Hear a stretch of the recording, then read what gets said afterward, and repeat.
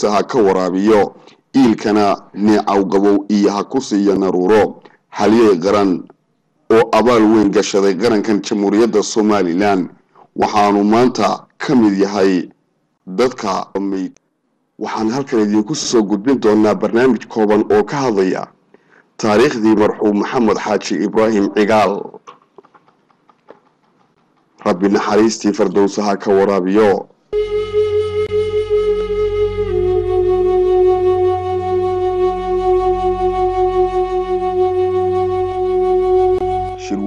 labaad ee beelaha somalilan ee lagu qabtay magaalada boorama waxaa isugu yimi dhammaanba beelaha somalilan iyo hormuudkii dhaqan ee bulshadan. Sidoo kale waxaa goobjoog ka ahaa siyaasiyiintii dalkan iyo xukuumaddii wakhtigaasi ee cabdiraxmaan axmed cali isla wakhtigaasi marxuum maxamed xaaji ibraahim cigaal wuxuu u soo xarka xidhay inuu ka mid noqdo murashaxiintii u tartamayey jegada madaxweyne ee ku sugnaa magaalada boorama kana qayb galay shirweynihii halkaasi uga socday beelaha somalilan waxay dhahayn raggiinii siyaasiyiintii kuwii hore iyo kuwii dhexe iyo kuwii dambeba. Waa isugu timaadeen boorame ma admaac baa jirta oo ma kuraasi baa tii ceeb ma aha kuraasi waa in la doono kuraasi ceeb maaha nebi yuusuf calayhi salaatu wasalaam markii laga soo daayey jeelkee loo geeyey boqorkii ee uu salaamay uu mahadnaqay riyadiisi waxaa uga mahadnaqay wuxuu yidhi ajcalnii calaa khazaayin alardi inii xafiidun caliim. Ii dhiib buu yidhi khasnaada wayaan minister of finance ka dhig laakiin wuxuu ku daray inii xafiidun caliim. Waxaan ahay nin wax la yaqaano wax u muuqdaan aaminna ah. Yani qualificationkaasa waxaa ku doonayaa buu leeyahay marka ninkii maanta qualification meesha la yimaada yidhaha war waxbaan tarayaa waxaasaan tarayaa hallay hallay waxa lay dhiib shirkaasi magaalada boorama oo soconayay muddo dhowr bilooda waxaa ka soo baxay nidaam dhab ah oo ka hirgalay qarankan jamhuuriyadda somalilan waxaana ka mid ahaa dhismaha dowladnimo.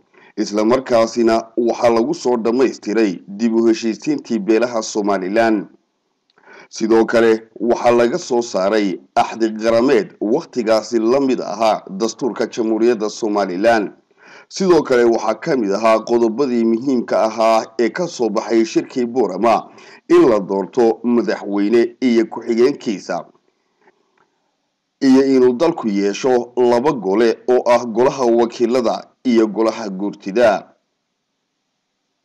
arrimaha muhiimka ah ee ka soo baxay waxaa kale oo ka mid ahaa axdigii nabadda iyo in hubka dowladda lagu wareejiyo iyo sidoo kale ilaha dhaqaalaha oo laga maarmaan ahaa in wakhtigaasi dowladda lagu wareejiyo. Waxaana halkaasi madaxweyne loogu soo doortay marxuum maxamed xaaji ibraahim cigaal iyo cabdiraxmaan ow cali faarax. Laakiin nasiibka weyn ayuu lahaa oo waxaa la yidhaha fahamow hadalkuu kaa boobaaye uu sheekh axmed. Hore iga sii wax ka sii tiltilmaamay oo ah dalkan taariikh baa laga qori doona hadbay qoran tahay oo taalla qaaraan dhalan maanta oo dhabarkeenna ku jira. Oo aan midna cidna weexanayo ayaa qori doona taariikhdaas. Boog dahaba ayuu cabdiraxmaan ku yeelan doonaa. Daaqiyadii ilaahay nagu salliday xoogii naga xoreeyey madax buu ahaa. Abbaanduulihii xorriyadda weeye cabdiraxmaan cabdixalaan boorama la isugu tegey. Saddex iyo sagaashankii shirweynahaasi wuxuu socday ilaa dhowr bilood. Halkaasay ku dhammaystirantay nabadgelye. Muxuu ahaa dib heshiisiintii la sii waday. Waxaana shirkaasi ahaa shir kii ugu qiimo badnaa waan odhan karaa. Ama shirkii ugu qiimo badnaa iyuu ku jiraa. Ee dalka somalilan ka dhaca ee lagu yagleelo dowladnimadan hadda jirta. Markii la dhammeeyey dib markii la dhameeyey qaabkii laysku maamuli lahaa iyo la qaatay markii axad qarameedyadii iyo kuwii la dhammeeyey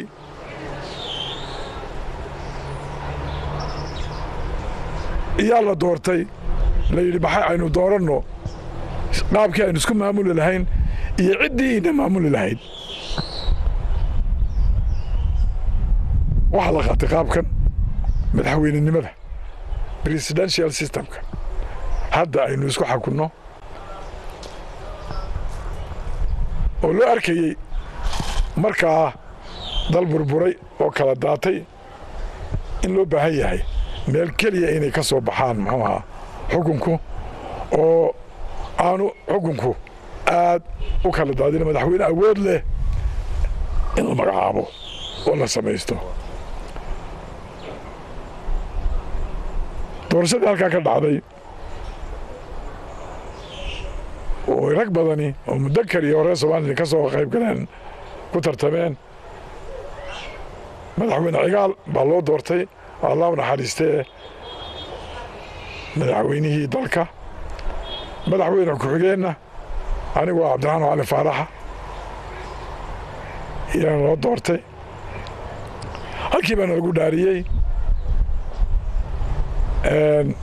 shirkiina halkii yuu ku dhammaaday waxaana ka soo baxay. Axdi qarameedkii oo distoorkii oo kale ah oo qaabkii la isku maamulayey structurekii dowladnimo dhismihii dowladnimo madaxweyne madaxweyne ku-xigeen xukuumaddiisii iyo baakaban iyo laba aqal. Oo mid hoose iyo mid sare ah oo ah kii xildhibaanada baarlamankii labadu iyo guurtidii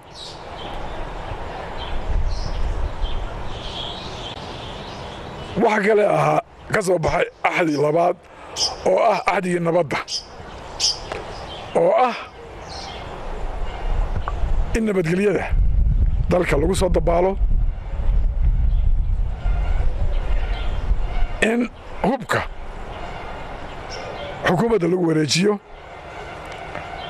in ilaha dhaqaalaha muhiimka ah sida dekadaha haddii beedankeedii leeyahay eerboordhada kastamada dowladda lagu wareejiyo. Runtii xaaladda dulka ku jiray markaa. Xaalad sahlan may ahayn. Haddii aan ka soo qaado boorab iyo hargeysa inta u dhaxaysa malaha labaatan kontarool baanu ku soo dhaafnay. Checkpoint.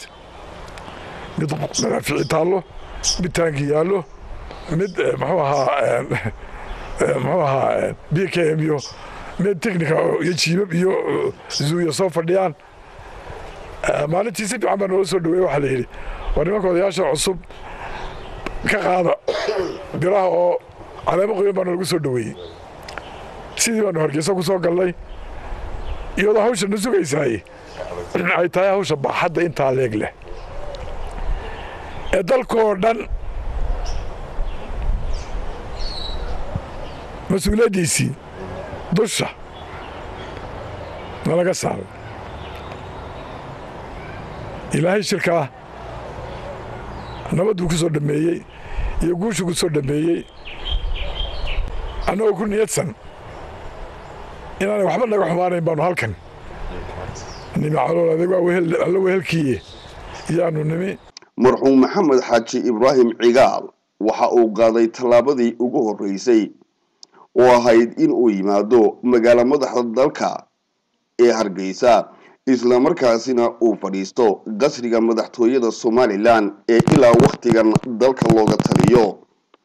Waxaanu soo dhisay dowladdii ugu horreysay oo ahayd dowlad ay ka wada dhex muuqdaan guud ahaanba beelaha somalilan islamarkaasina uu u xushay rag waaye arag ahaa oo kala dabaalan kara marxaladii wakhtigaasi dalku uu ku sugnaa.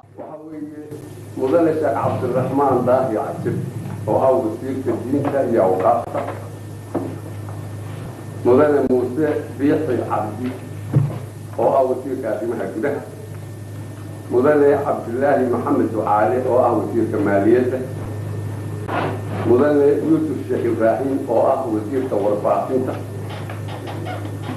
mudane cabdilaahi diire roble oo ah wasiirka cadaaladda mudane cabdi maxamuud jaamac oo ah howlaha guud mudane saleebaan maxamed aadan oo ah tacliinta iyo dhallinyarada mudane yaasiin xuseen faratoon oo ah caafimaadka iyo shaqaalaha mudane maxamed axmed ibraahim day oo ah ganacsiga iyo warshadaha mudane haybe cumar magan oo ah mas'uulka beeraha iyo xanaanada xoolaha. Mudane maxamed cali cateeye oo ah wasiirka macdanta iyo biyaha. Mudane cusmaan aadan doon oo ah isgaarsiinta iyo boostada. Mudane maxamed ismaaciil kullaale waxaa rugcaddaa siyaasi ah oo de muddo ku soo jiray siyaasadda soomaalida. Iyo maraaxilkaa isagu uu soo maray hore oonaan annagu waxba ku lahayn. Annagu tii gobonnimadoonkii iyo esanashii waxba kumaanaan lahayn. Oo taariikh isaga u gaar ah iyo ahayd. Wuxuu soo dhigay haygalkii dowladnimo isagii xukuumaddiisii anna madaxweyne ku-aanka anu ahaa. Oo rag badan oo tayo leh oo wasiirro ah oo xushay markaa de isaguba madaxweynuhu magacaa leh. Oo hoggaankii nagu hoggaaminaya buu ahaa. Haykalkii dowladnimo iyo qarannimadii ninkii taagay buu ahaa. Waxaan is leeyahay marxalad adag oo ni aan isaga ahayn aanu ka baxeen baan malaynaya adag adag adag bay ahayd alxamdulilah waa taa maanta midhaheedii la cunayo dhibaatooyinka iyo caqabadaha ka hor yimi dowladdii marxuum maxamed xaaji ibraahim cigaal waxaa ka mid ahaa burbur lexaad leh oo ka jiray dhammaanba hay'adaha dawliga ah islamarkaasina caqabad ku noqon kara hanaanka dowladnimo dhammaanba xarumihii hay'adaha dawliga ah waxay ahaayeen kuwo burbursan laakiin may noqon caqabad hor istaagta dowladdii la soo doortay ee marxuum maxamed xaaji ibraahim cigaal. Madaxweyne maxamed xaaji ibraahim cigaal iyo dowladdiisii waxay qaadeen tallaabadii labaad oo ahayd hubka dhigis waxaanay ahayd baahidii ugu weyneyd ee loo baahnaa wakhtigaasi islamarkaasina shacabku ay tabayeen inay helaan dowlad samaysa hubka dhigis waxaana dowladdaasi ay ku guulaysatay inay hirgeliso hubka dhigis rasmiya. Sidoo kalena la abuuro ciidamo qaran oo dalkani uu yeesho.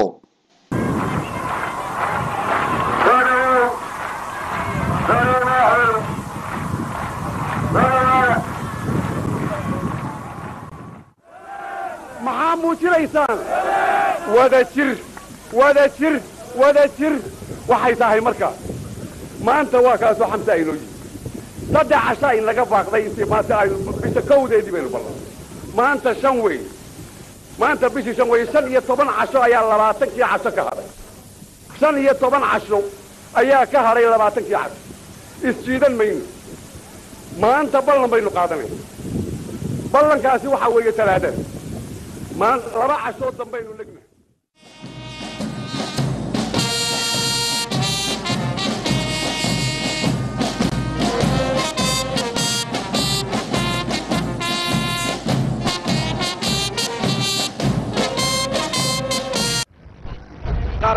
qaramaynta buutooyinkii xeer baa loo dhigay. Xeerkaasi waxaa goobtaa inay yimaadaan oo halkaa hortiinna inta la soo tubo ay ku dhiibaan waxay tuseen qaankoodana halkaa kaga mid noqdaan oo ka soo galaan xerada ayaynu isku ogeen xeerka inoo yiilay runtii jimcad quruma gadhaxaysana nooma soo gurman dalalka hor shisheeyeyna oo dibadeedna noomay soo gurman. Gurmadka ilaahay iyo ummadda reer somalilan iyo calool adayg baa aanu kaga dabaalanay oo lagaga baxay. Haddii aan hubkaa la dhigi lahayn maamil dowladeedna lama sameeya nabadgelyana ma suganteen. Xukuumaddeedii la soo magacaabay halkan timina. Meel alla meelay wax ka qaado waayo dabkadhigisa waxaa la socotay. Dekadihii baana lagu wareejiyey. Iga dambeeyo bal inaynu dawlad la'aan ku noolaanayna dad walba wowta nabadgelyadu. Waana tootali waynu isku raacsannay laakiin waddadii loo marayey ayaa nin basti ugu muuqata. Aniga waxay igu muuqataa marka dawlad la dhiso in belelkaa iyo raggiisii loo magacaabo nabadgelyada. Anna dekadda yare ee berbereen jooga cashuurta gaarka ah reerka guro layga qaado ciidankaa la siiyo sidaa inay ku hagaagisaa baan qabaa meelii aanu joognay waxoogaa leefleef baan ku qabnaa oo aydaan kulligiin qabin. Haddana abaal waxaan ku qabnaa in nalagala wareegdo ay dadka u dhaxayso reer waxba afici waa hadda waa ilaa halkaasaa tego berberaan tegey anaaba tegey ciidankii halkaa joogay farsameye teknika ah intaasoo boqoloo nin iyo dekeddii iyo miftaaxeediisaa laygu dhiibay way nool yihiin raggii maanta muuse darab oo odayaashii beesha saaxil ahaa oo guddida madaxu ahaa madaxdii halganka. Raggii hoggaaminayey ibraahim cabdullaahi xuseen iyo ciise waxotiga ka mid yihiin. Halkii ways cadday halkii baa lalagu dhiibay oo la yidhi wataa ilaahay waatuu ogaayay afar cisho dabadeedba. Cashuurtii waa la ururinay waa ilihii dhaqaale waa hubkii intaasi waxay ku suuro gashay oggolaashada dadka.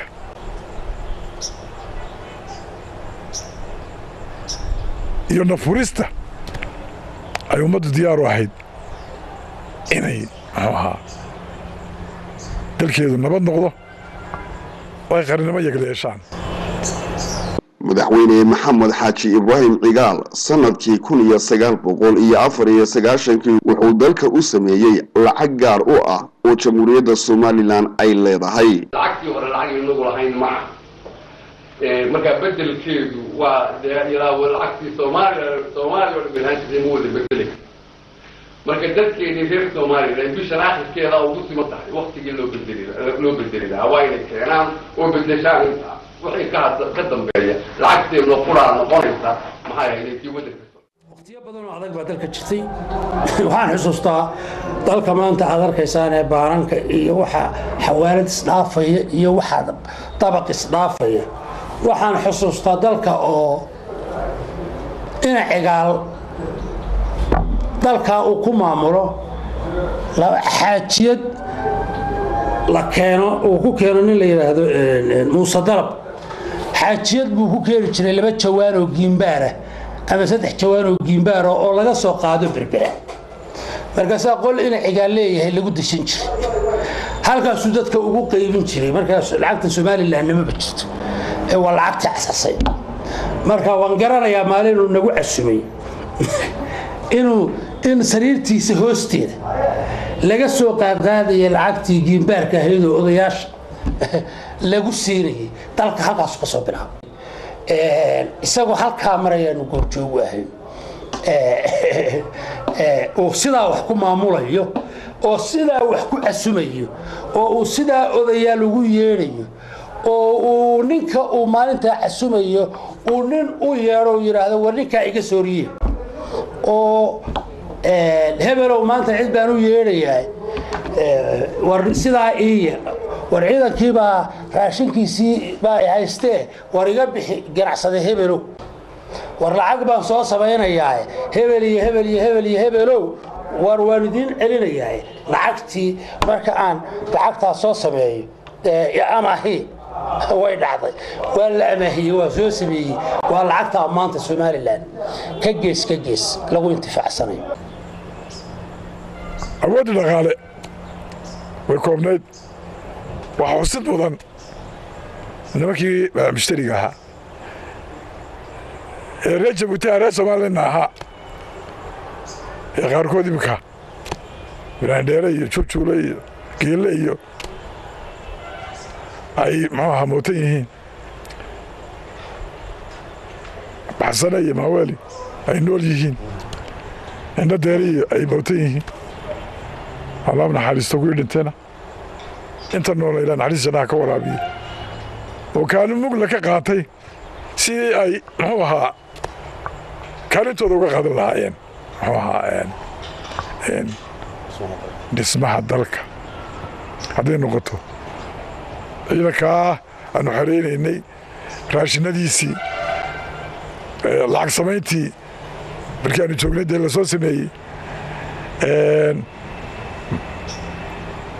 Kaalin aan la malayn karin bay ka qaateen ilaaha ka jasaaysiiyo kun iyo sagaal boqol iyo shan iyo sagaashankii waxa ay xukuumaddii marxuum maxamed xaaji ibraahim cigaal ay labada golo siisay warbixinno kala duwan oo ay kaga warbixinayso waxyaabihii uga qabsoomay howlihii baaxadda lahaa ee horyaalay marxuum maxamed xaaji ibraahim cigaal oo warbixintii asalka ahayd ee ay ku duugnaayeen waxyaabaha aan u qabsoomin iyo waxyaabihii u qabsoomay ayaa waxaa ka mid ahaa. Waa ogtihiinoo maalintii aynu halkan. Taariikh tacriifad baa ku soo wasiirka maxay hayde ganacsigu soo sameeyey. Caawitaan ninkii joogay sayib buu ahaa iyo guray buu ahaa. Waxaanu ku samaynay markaa maalintaa lama ogolayn cashuur shacbigu diyaar maahay waxaa loo bartay inamadii yaryaraa ee jabhadda ahaa ee dhulka joogay ilaa dhaqaalaha joogay faraguudkoodu wax lagu siin jiray. Ayaa loo bartay. Marka mudday nagu qaadatay intaanu dadkii ka raadinayno dadka aqbalayo u soo noqonayo ra'yigii ahaa waxbaa la cashuuray sagaal iyo toban dhowr shir baanu wada galay rag ganacsata ah oo ka soo hortaag soo jeeda ka soo horjeeda in cashuur dawladdu haa dabadeed waxay laga soo guudka wax sanadkii ninba waxaa la weydiiyey caynkaas oo kalaa yabo aakhirkii adigu tacriifad baanu samaynay marsada u dhaqdhaqaaq badan qarniga hoonaba berberina afar markaba waaweyn baa bishii soo gala berbere kala baac mushtarigii ganacsigii ina dhaafi ee xaggaa inoo dhaafi oo markaas yani intii aynu kasoo degi lahay darkeena inagu hadday ku koobnaan lahay waxaynu inagu consumptionka inaga waxaynu cunno hadday ku koobnaan lahay afarteeda ma shanteed baa in laga soo gala marka cashuurtii haba yaraatee haddana volumekii iyadii ha yaraato waxaa ratekii ha yaraato laakiin volumekii ayaa aada iyo aada u batay oo maxay haydeen daboolay intiisaas inaga dhamaan lahay marka de ishaa qurihi unbaa dalkiiba lagu wadaayo aynu maanta wax ku wada sicirkii dollar buu kacay kenina buu tabay baana igu dhacay kenina sicirkeedi ayaa kordhay oo raggii ku sarrifi jiray dadkii la dagaalamayaa ka jeestay dadkii la dagaalamaya iyadoo haysa lixdanka lagu sarrifo boqolkiiba lixdanka lagu sarrifo ayaa ka jeestay maanta waxaan igu wardambaysay farco isagoo sagaashan maraya shilinkeena sagaashan maraya baa igu dambaysay waxa weeye tirigaasi hadduu inaga dhamaado waa ugu talagalay marka inaanu maxaa hayday sicirka lacagta. Waxaynu ka bilownay wax ka bilownay gebagabaynu wax ku bilownay. Maalinta aynu ku waraba ka nimi magac mooyaane. Wax dawladahoo markaa la sheegaa oo jiri oo jiray ma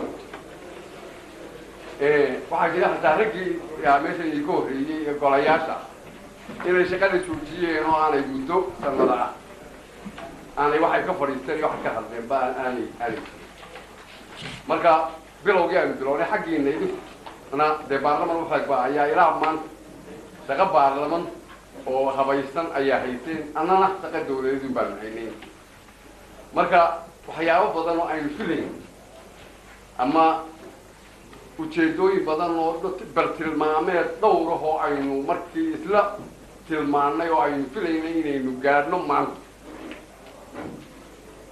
ayaa jiray. Waxaa jiray uqaar talagal booraba lagaga soo talagalay oo kayra waaqici ahaa oo aan wax meel mari kara ahayn oo masalan intikaab baanu samaynaynaa laba sano iyo istiftaa baa la samaynaya iyo didiilo waa ku jirta.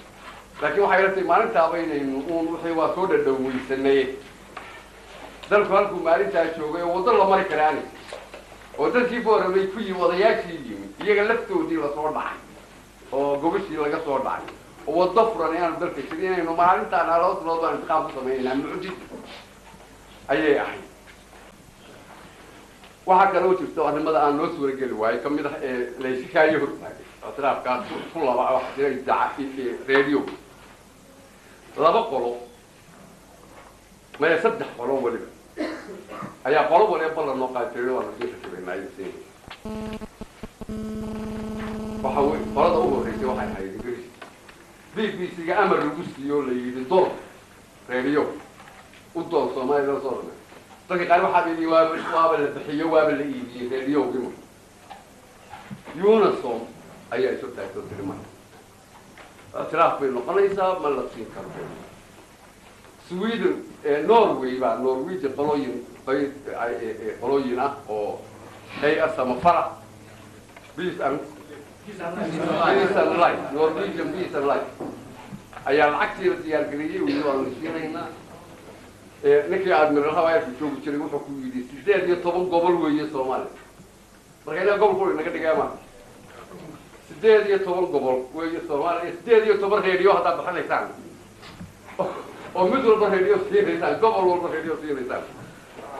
Waa yeeli kartaan bui kale gooni soomaaliya nimankaas magaca la baxay north west baa iyaguna loo yaqaanay waxaa siin kartaan gooninu siin kartaan ma jirto waa laga rubay german baa isaguna ballanay loo qaaday jidkiisa qoladan ayaa iyuna ballan qaaday iyana sidaas le waa loo diiday.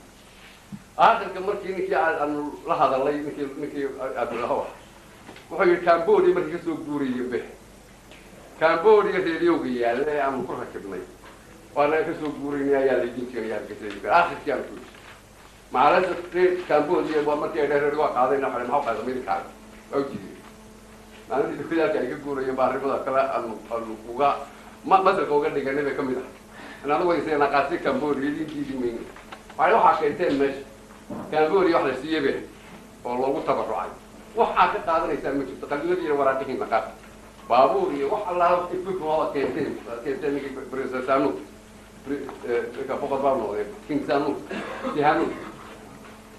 irbad ma hadda imika laba dhiloo commissiona baa noo ayaa nooga yeedhan england b b c ga noo soo dira oo bal noo habeeya equipmentkaan u baahannahay waxay tahay kii baa la isla keeni lahayo laga laga dhamaa marka imika imanay anagaa kharashkaada bixinaa waa laba nin oo technician noo soo dira engineer ah oo loo yimaada oo specification noo sameeya bal waxaan u baahannahay waxay tahay iyo meeshaan keeni karta waxaan doonaya marka inaan iyana wax yar idinka sheego xaggii dhaqaalaha arrimaha muhiimka ah ee lagu majiiran karo siyaasi marxuum maxamed xaaji ibraahim cigaal ayaa waxaa ka mid ahaa in uu dalkan iyo qarankan uu ka muujiyey in dowladdii uu soo dhisay ay noqoto mid ay ka wada dhex muuqdaan guud ahaanba beelihii somalilan ee nabadda heshiiska iyo waxwada qaybsiga ku saxeexay shirarkii boorama iyo burco saleebaan yuusuf cali kore waxa uu ka mid ahaa wasiiradii xukuumaddii marxuum maxamed xaaji ibraahim cigaal. Islamarkaasina waxa uu ahaa siyaasiyiintii ku soo ag barbaaray marxuum maxamed xaaji ibraahim cigaal marka laga hadlayo xagga siyaasadda. Waxaan xusayaa in uu si taxadar le dalka u hogaamin jiray. Weliba isagoo mar kasta aanay ka marnayn in dadkani uu yahay bulshooyin. Marka soomaalida loo eego bulshooyin ku kala duwan haybta.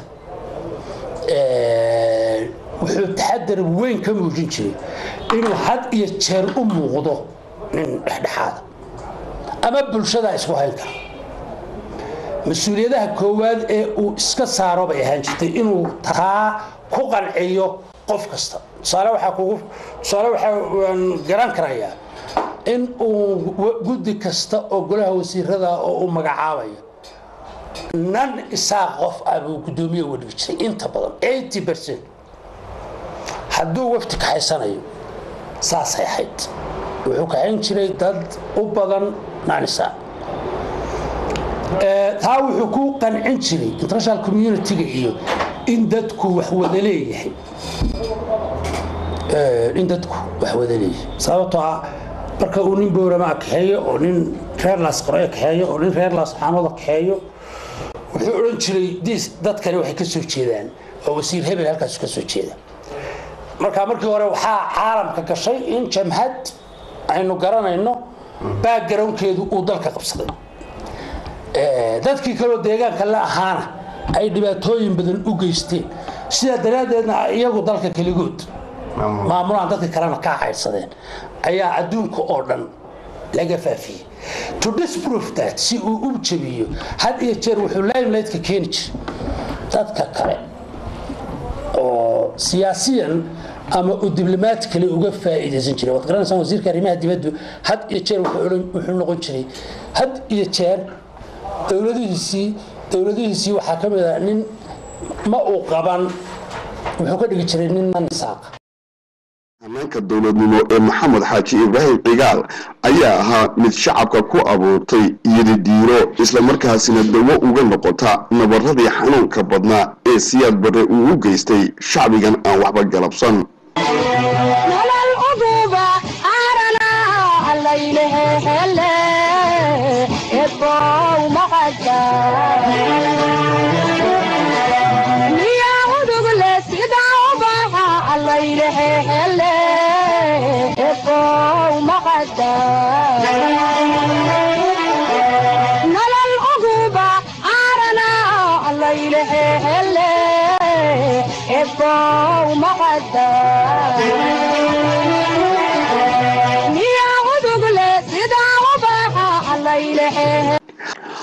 mar kale waxaa la gudagalay shirweynihii beeraha somalilan ee lagu qabtay magaalada hargeysa dabayaaqadii sannadkii kun iyo sagaal boqol iyo lix iyo sagaashankii doorashadaasi waxaa kula tartamayey maxamed xaaji ibraahim cigaal laba murashax oo kala ahaa maxamed xaashi cilmi iyo saleybaan maxamuud aadan. Waxaana cod aqlabiyada loogu doortay madaxweyne mudane maxamed xaaji ibraahim cigaal islamarkaasina waxaa madaxweyne ku-xigeen loo doortay daahir rayaala kaahin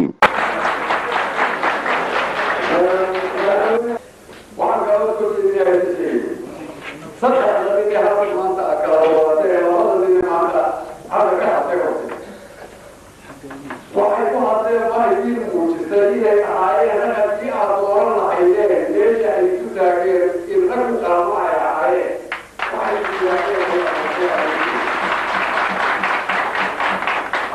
dhismihii dowladnimo kadib waxa uu marxuum maxamed xaaji ibraahim cigaal uu qaaday tallaabadii ugu horeysay oo uu ku bedelay calankii jamhuuriyadda somalilan haddii ayna noqoto inuu ka bilaasayo kani maanta ku wanaagsan yahay meesha lagu bedelan waa taadag haddii aynu keen yahay notiraasanaadane waayo waa inaga qalbigeena maaha marada maaha maanta innaga weeye qalbigeena iyo niyadeena iyo iyo umuunteena weeye dowladnimadeena waxaanu sameeyey astaan qaran oo dalkan gaar u ah sidoo kale waxa uu abuuray baasaboor si loo dhammaystiro haykalka dowladnimo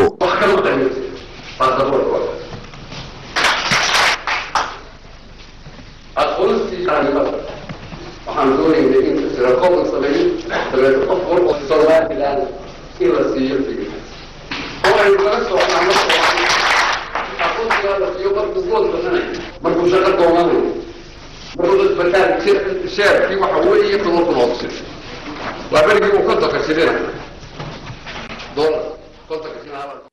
marxuum maxamed xaaji ibraahim cigaal oo ahaa waaye arag rugcadaaya islamarkaasina garan kara hogaaminta ummadeed isaga oo muujinaya inaanu ahayn siyaasi jecel adduun amaba dhaqaale uu ka helo xilka loo igmaday balse uu ahaa in uu dhiso qaran iyo dowlad rasmi ah oo yeelata dhaxal ay ku noolaadaan shacbiga somalilan iyagoo dowladda waxaanu ku dadaalay oo uu qaaday tallaabooyin kale oo lagu muujinayo qarannimada jamhuuriyadda somalilan laguna noolaynayo adeegyadii arrimaha bulshada ee rajiimkii maxamed siyaad bare ay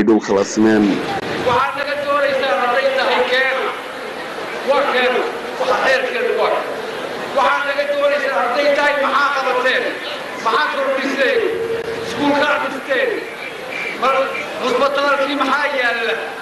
waddadani maxay u kharaab maxay u burbursan tahay? Taa hataa waxaan kula xisaabtamaysaa ay tahay. Wallaahi waraan ka soo baxay oo cusbitaalkii dhisayna oo iskuulkii dhisayna oo waddadii hagaajinayna oo idinka halinkiina nin walba nicmada ku soo gaadhay. Ma sugaysaa haddaba maxaa inoo ballan? Ma sugaysaa ma dherigaanu ku ridnaa? Mise dhulkaanu gelinaa ka jawaabi dhulka geliya ma ku ridnaa mise dhulkaanu gelinaa la geliyo hadda berritay imanto hadda berritay imanto berritay imanaysaa saa dambe imanaysaa halka waxbay nooma kala karsoona waxa weeye annagu daran ama nagu nacaado ama nagu jeclaada ha nagu soo kuwayn kunti waxaan ugu guntanaynaa dalkayna shantaas sanadood inaanu qaran idinka dhigin inaanu qoomado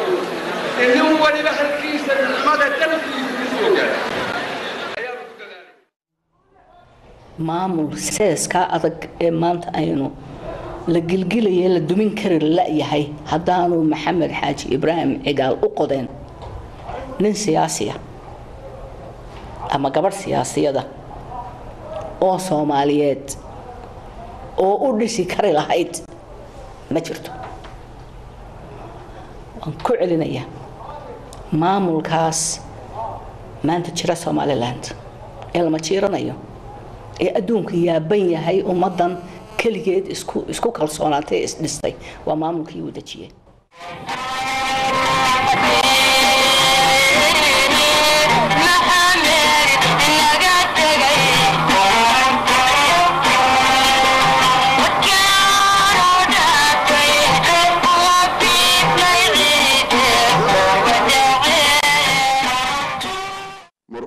maxamed xaaji ibraahim cigaal waxa uu isla markiiba uu ku tallaabsaday mid kale oo muhiim u ahayd shacbiga jamhuuriyadda somalilan si markaasi looga gudbo nidaamkii habka qabaa'ilka ee laysu maamulayay waxaanu bilaabay dastuur iyo shuruuc saldhig u noqota qarankan jamhuuriyadda somalilan. Koob iyo soddonkii bishii mey ee sannadkii labadii kun iyo kowdii waxaa loo dareeray aftidii dastuurka jamhuuriyadda somalilan waxaana halkaasi lagaga soo gudbay in laysku maamulo hab qabiil waxaana loo gudbay qarannimo dastuur iyo shuruuc leh. Waxa weeye boore maalintii aynu ka nimi tallaabaynu qaadno waxa la qaada shacbigani qaaday shacbigu qaaday qaranka somalilan tallaabu qaaday uu ka tallaabsaday jabhadnimo oo u tallaabsaday qarannimo iyo qowmiyad loo tallaabsaday maantana toddoba sano haddii aynu kaa soo wadnay waxaynu qaadaynaa tallaabadii labaad ee dhowr jeeraan oo qayriyada ka hadlaaya aan tilmaamayay ee aan lahaa. Tallaabadaas aynu qaadno mooyaane halka aynu marayno maanta aynu gaadhnay nidaamka aynu hayno meel ka ka sarreysa laguma gaadhi waynu ku gaadhnay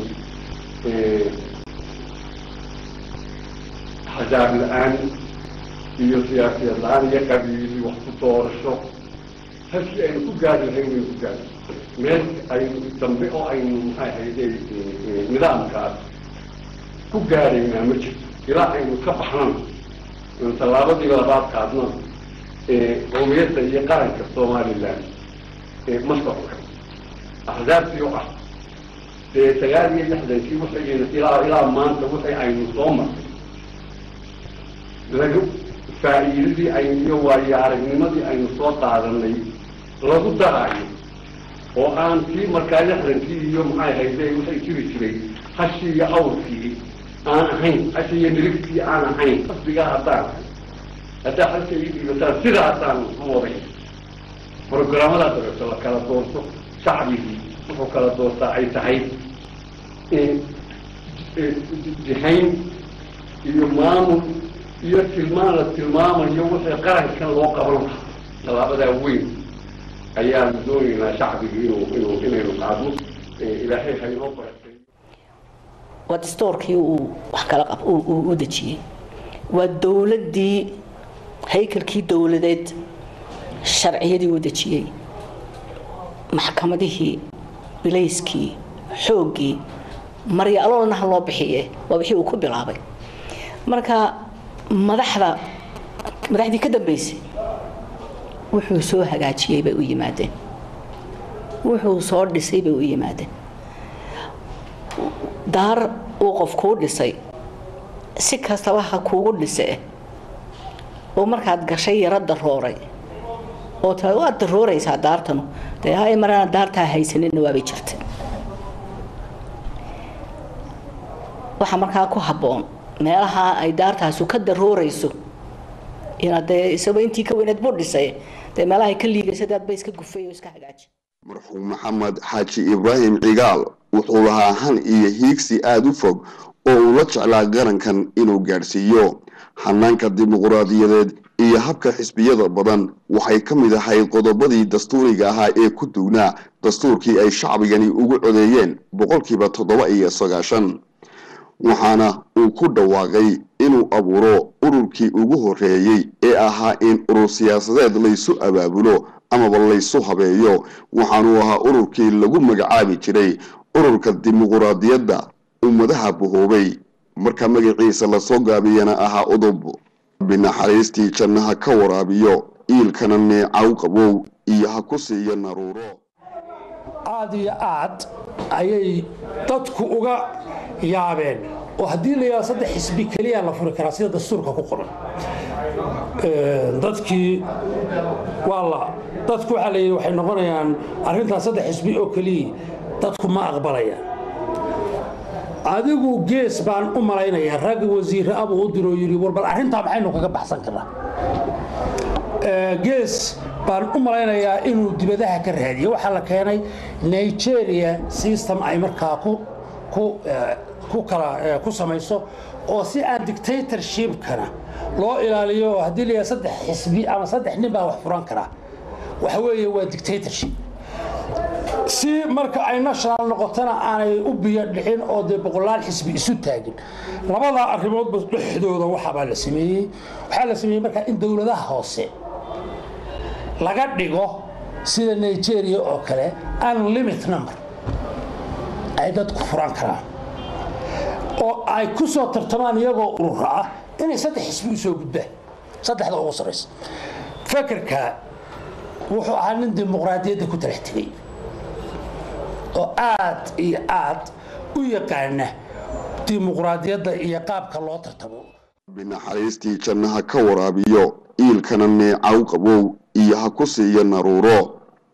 Marxuum maxamed xaaji ibraahim cigaal waxa uu qaaday tallaabooyin kale oo markaasi uu shacbigiisa kula hadlayey kuna dardaarayey wakhtiyo kala duwan oo u badnaa xilliyadii xuska siddeed iyo tobanka mey oo uu shacbigiisa u soo bandhigay qiimaha dowladnimo iyo ahmiyadda ay leedahay in la helo dad daacad u ah oo u adeega iyo sida ay u kala dooran karaan siyaasiyiinta asxaabta hogaamin doonta iyo waxa ay kala kulmi doonaan ayaa waxaa marxuum maxamed xaaji ibraahim cigaal uu ku dhawaaqay. Doorasho uu galo oo ay axsaabi mid waliba soo hordhigto waxay mabdac leedahay iyo waxa ay qabanayso iyo waxay qaban doonto. Marka isaga ayaa wakaaladda si marka shacbigaasi haddii aanu garaad siyaasi oo bisil lahayn haddii aanu xeeladda khaa'inka aanu garan nin halkaa intuu isa soo taago anigana igu dhaho idi odhanaya waxbaan xumaynayaa ma jiro. Mid waliba wuxuu idin leeyahy waxbaan hagaajinaya sidaad u hagaajinaysaa shacbigii soomaaliya qarankii awoodda lahaa ee isaga laga sugaayey intaan wax wadi kari waayaan iska tag. Laakiin inaan idinku soo jeesto oo aniga iyo ragga aanu wax wada haynaa aanu idhaahno dadkaannu afduubanno waa inoo dihin yihiin waxba garan maayaane aynu afduubanno aniga iga suga geli laakiin mid iga ayaa yeeli doona haddii aanu dadku isagu garaad siyaasi oo bisil lahayn oo aanu isagu awoodda uu leeyahay isticmaali karin. Madax siyaasiya oo soomaaliyeed.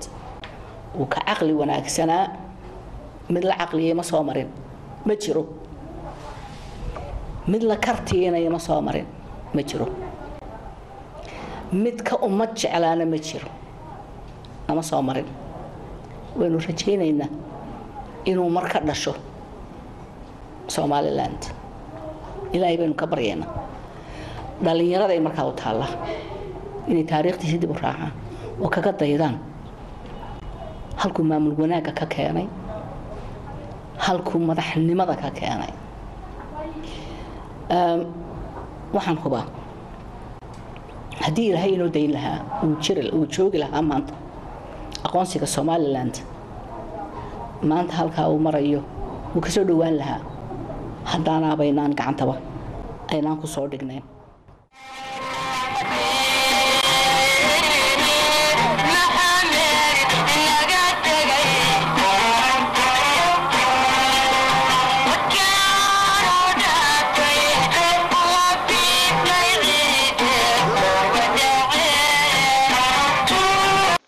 saleebaan yuusuf cali koro wasiirkii xanaanada xoolaha ee xukuumaddii marxuum maxamed xaaji ibraahim cigaal ayaa inooga sheekeeyey bal hadda siyaasadii marxuum maxamed xaaji ibraahim cigaal. Maalin maalmaha ka mid a golaha wasiirada waxaan xusuustaa ayaa arrin loo footiyey ninka keliya ee diiday baana. Madaxweynaha iyo weliba madaxweynuhu wuxuu yidhi maanta waxaan ogaanayaa ninka raggayga ah iyo ninka iga soo horjeeda dabadeedna waa la footeeyey golihii wasiirada intii kale oo dhan. Waa footeysay. Anigu yaa diidan baa anigaan idhi. Wasiiradii waxay u wada qaateen kulligood inuu ina cigaal warqadda. Warqadda eriska ii soo qoray. Aad baa rag badanoo waxaan garanayaa axmed yuusuf tacaale iyo gees iyo nin la odhan jiray oomane iyo nin daahir riyaalo markaa madaxweyne ku-xigeenaha xafiiskiisaanu gallayo aad baa lay canaantay madaxweyne baad ka hor timid madaxweyne baa waa kan madaxweyne wiil yar baa tahay siyaasadda nin waaya aragama tihid wa aad baa lay canaantay rag badani waxay u arkayeen golaha wasiirada 90 percent inuu warqadii eriska ii soo qorayo. Aad baana lay canaantay intii aanu saaxiibada ahayn dee meesha in inaan meesha sii joogo rabtay aad iyo aad bay canaan aniga qudheedu waxaan u qaatay in la eriyo laakiin ma gurigii baan iska tegay laba maalmood maana shaqo tegin waxaa islahaa bahal baa loogu soo dhiibi jiray warqadda. Susuki la yidhaah. Iyaa duca qabada taasi odaygu u soo dhiibi jiray. Waxaa islahaa baashaada iskaga si yaa taa ku sug islahaa laakiin laba maalmood kabacdi buu goor fiida ii yeedhayo xoogeyntaa telefoon ii soo dirtay oo markaasaan markaan telefoonkii arkay aan haddaba warqaddu ma jirto. Ilaa adii kale lama hadli jirin waxaa loo baxal susukidaasaa la sugi jira dabeedna wuu ii yeedhayo meeshii xafiiskiisii baanu wada fadhiisanayoo wuxuu igu yidhi maanta wixii laga bilaabo. Waan kuu sad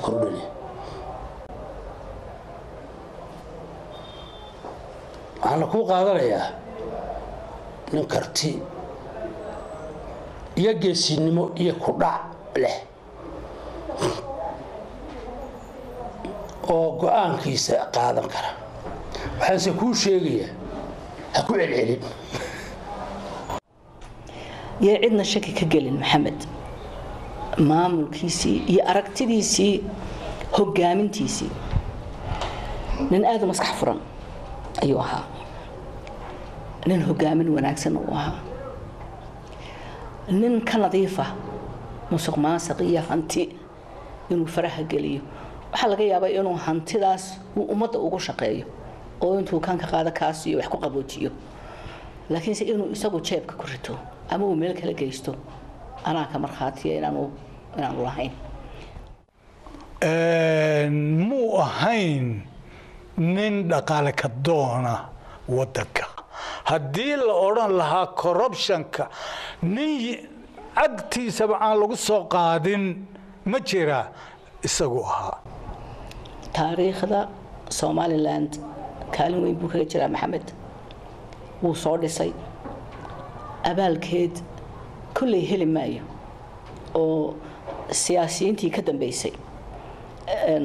Ma laha aqoon ay ku yidhaahdaan ninkaasi wuu wanaagsanaa way mid waa isagaa isagaa qudhiisu luga jiljilicsan ku taagano.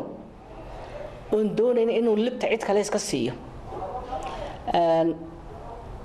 Laakiinse wuu leeyahay. Dhallinyaradu waa inay ogaataa. Dhallinyaradu isagoo kale ku dayataa. Ka hunguriga weyn aanay ku dayan. Ka khaayinkaa aanay ku dayan. Ka tuuggaa aanay ku dayan.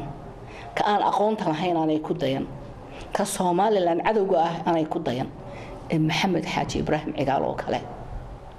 Ilaahay naxariisi jannaha siiye. Ay dhallinyaradu kaasoo kale ku dayato oo hogaamintiisii raadkeedii ay raacaan. Haddii aan isoo cadaalad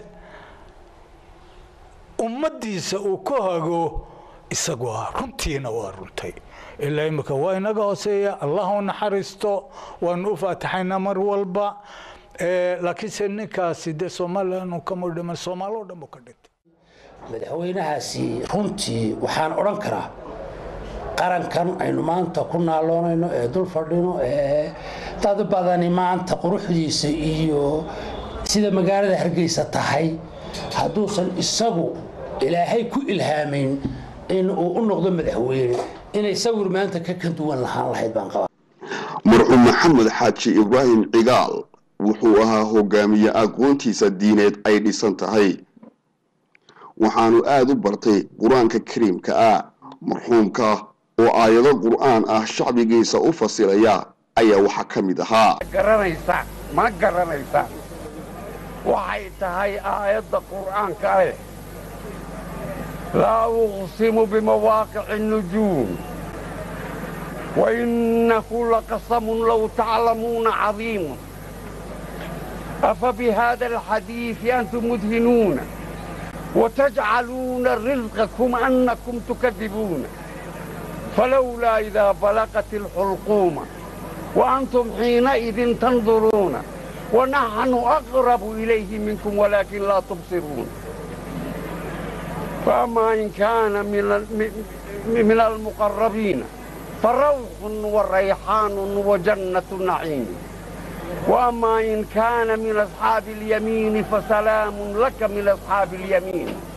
وأما إن كان من المكذبين من المكذبين الضالين فنزل من حميم والتسلية جحيم. إن هذا لهو حق اليقين. فصبح باسم ربك العظيم. سبحان ربنا العظيم. سبحان ربنا العظيم. سبحان ربنا العظيم. tahay aayaddaas wakhtigii uu marxuum maxamed xaaji ibraahim cigaal dareemay inaan xaaladiisa caafimaad aanay fiicnayn ayaa waxa uu shacbiga somalilan u hoga tusaareeyey haddii dadaal isku duubni iyo qarannimo lagu wada noolaado in toban sannadood kadib la dareemi doono isbeddelka waddan ee laga dareemo horumarka qarankani uu ku tallaabsado waxaanu tusaale gaaban u soo qaatay in hargeysa ay noqon doonto mid la mida waddamada khaliijka. Balse waxa uu marxuumku farta ku fiiqay toban sano kadib inaanu la joogi doonin. Maanta toban sano ayaynu madax bannaanayn. Toban sano oo aynu madax bannaanayn ayaa loo dabaaldegaya tobanka sano ee soo socda maxaynu rabnaa inaynu gaadhno oo aynu u dabaaldegno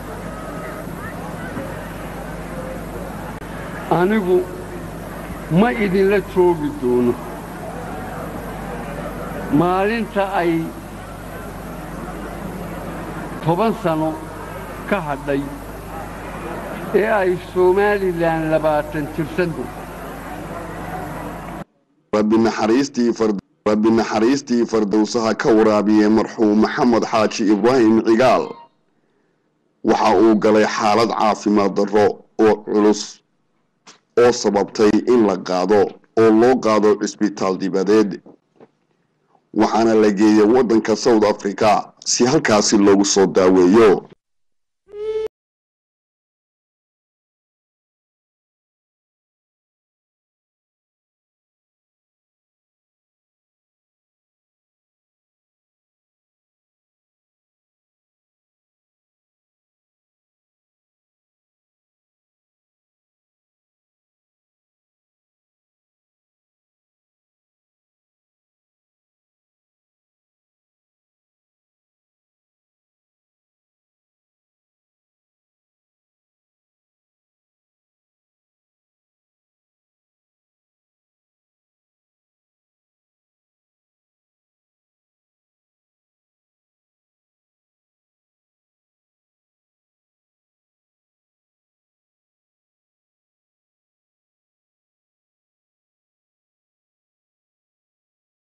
wa innaa ilayhi raajicuun qadarada rabbi iyo qoraalka ilaahay waa waxalkooda yaallaa saddexdii bishii mey waa maalintii uu geeriyooday ee godka uu galay. Halyeygii geesigii aqoon-yahankii rabbi naxariistii jannaha ka waraabiyey qarankan jamhuuriyadda somalilan.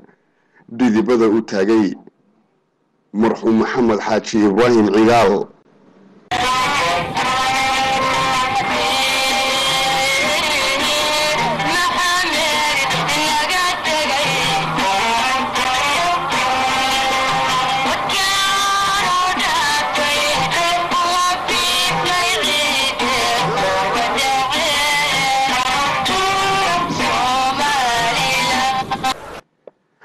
dhawaaqii iyo maqalkii geerida marxuum maxamed xaaji ibraahim cigaal waxay keentay inay naxdin iyo werwer isbarkan ay la soo daristo bulshada somalilan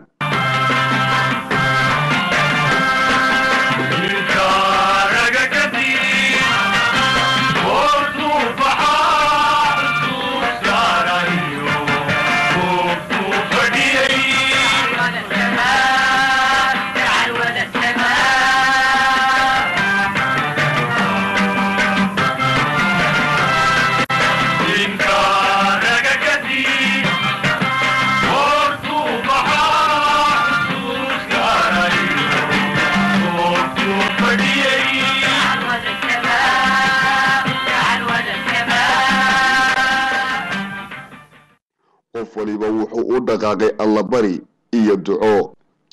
Maalintii ay astaysnayd aaska marxuum maxamed xaaji ibraahim cigaal magaalada berbera waxay noqotay meel aada u ceeryoona oo khalqigii jamhuuriyadda somalilan ku abtirsanayay ay isugu yimaadeen. Toddobadii iyo badhkii subaxnimo waxaa soo murtidhi diyaarad laga leeyay waddanka south africa oo siday meydka marxuum maxamed xaaji ibraahim cigaal. Mar keliya waxa isbedelay jawigii iyo shucuurtii shacbiga somalilan ee halkaasi ku sugnaa. Qiiro oohin duco iyo allabari ayay halkaasi ku soo dhoweeyeen meydka marxuum maxamed xaaji ibraahim cigaal naxariistiisana alla ha siiyo ilaahay naxariistiisana ha siiyo ilaahay rasuulkii alla kulmiyo ilaahay asxaabtii alla kulmiyo ilaahay awliyadii alla kulmiyo ilaahay ambiyadii alla kulmiyo ilaahay ha asuugo ilaahay ha soo dhoweeyo ilaahay ha u gargaaro ilaahay dembigiisa ha dhaafo ilaahay ha kuusa ha dhaafo inaynu samireen alla ilaahay ha siiyo ilaahay naxariistii fardowsa ha ka waraabiyo iilkana neecaw qabow iyo ha ku siiyo naruuro.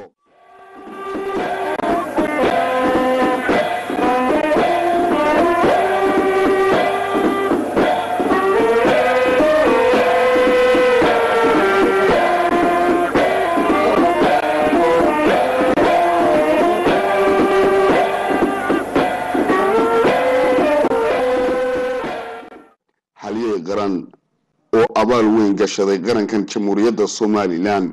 Waxaanu maanta ka mid yahay dadka meytida ah.